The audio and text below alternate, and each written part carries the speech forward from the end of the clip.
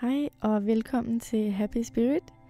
Jeg hedder Zoe, og på den her korte video vil jeg guide dig igennem yogastillingen dragen og sadlen. Rigtig god fornøjelse. Sæt dig godt til rette og få fat i det dybe maveåndedræt. Og så kom om til kattestillingen. Du hviler på alle fire. Kom frem med din højre fod op imellem hænderne. Sørg for, at tæerne er enten under knæet eller bag ved knæet her. Du kan enten læne din overkrop og hvile det ned på det forreste ben, eller du kan bruge hænderne til lige at støtte dig lidt her. Og så sørger du bare for at slappe af ned i det venstre ben her, så du hænger godt ned i venstre hofte. Eventuelt bare slappe af i nakken og bare lade hovedet hænge tungt og afslappet.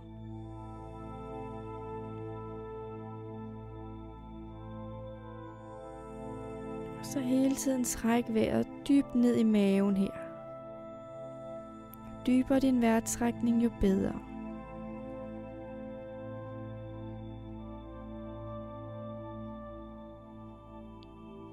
Og så bare Arbejd på at slappe af ned i din venstre hofte. Slap af om i ballerne, om i lænden. Så det hele tiden er så afslappet som muligt. Har en lang og dyb vejrtrækning ned i maven, uden at det virker anstrengende på dig.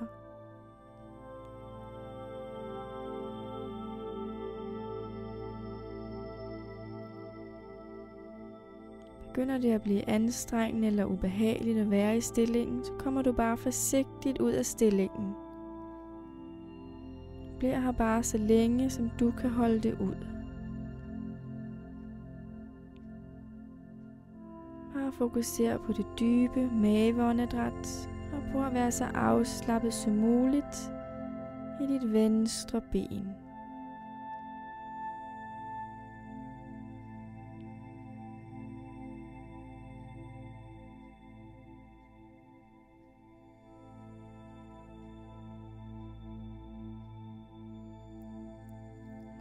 Langsomt kommer du ud af stillingen. Kommer lige tilbage på alle fire. Og måske lige kan du strække benene bagud her.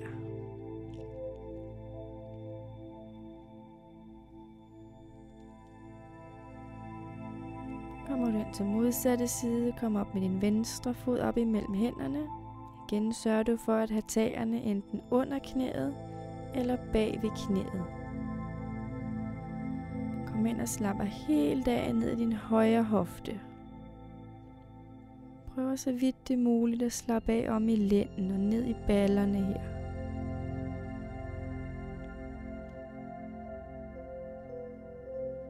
Og så træk vejret dybt ned i maven hele tiden. Det hjælper din krop til at kunne slappe af og give slip med på den her spænding, som du mærker.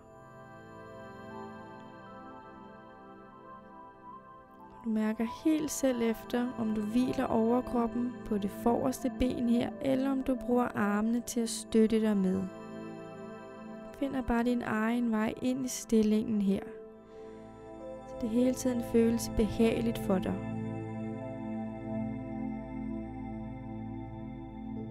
Og så bare prøv at være så afslappet som muligt.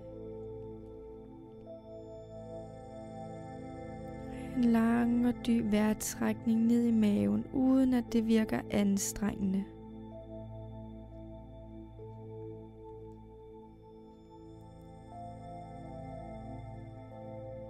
Måske mærker du, at du bare smelter ned i stillingen, stille og roligt. Og langsomt kan du komme ud af stillingen, kommer forsigtigt tilbage hviler på alle fire og lige strækker benene forsigtigt bagud. Kommer du ned og gør klar til sadlen, kan enten sidde oven på hælene,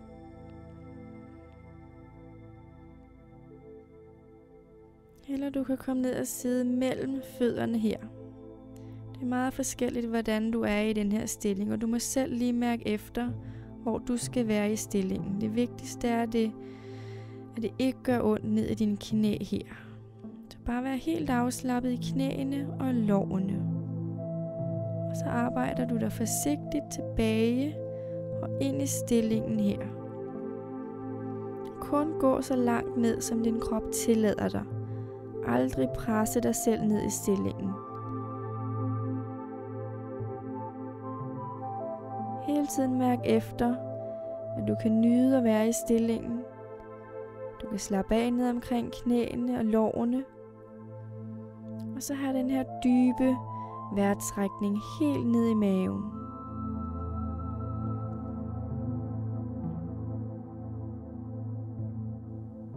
Og det er helt okay, hvis din knæ falder ud til siden her. Du skal ikke bruge energi på at holde knæene samlet. Du skal bare være helt afslappet ned i benene her.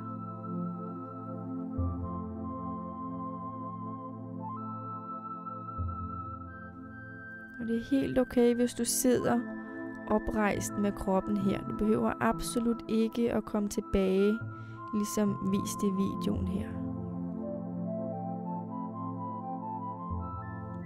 Du skal bare mærke, hvor du skal være henne i stillingen. Bare gør stillingen til din egen.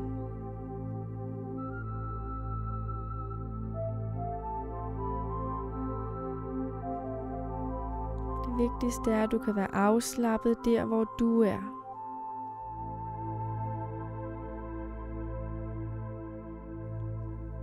Du bliver bare i stillingen så længe, som du har behov for.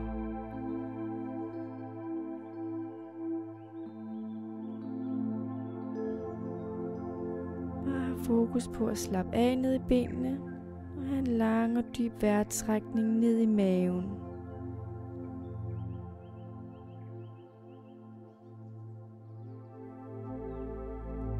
Hele tiden er så afslappet som muligt, især der hvor du mærker at det spænder.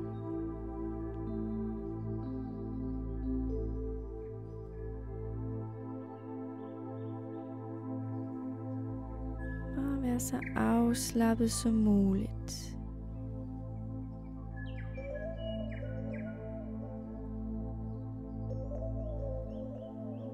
Slappe mere og mere af for hver udånding du tager.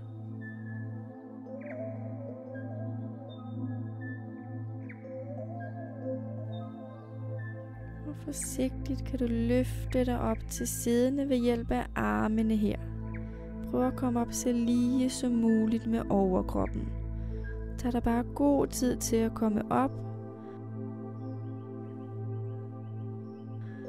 frem og hvile på alle fire igen. Og stræk benene forsigtigt tilbage her, stille og roligt.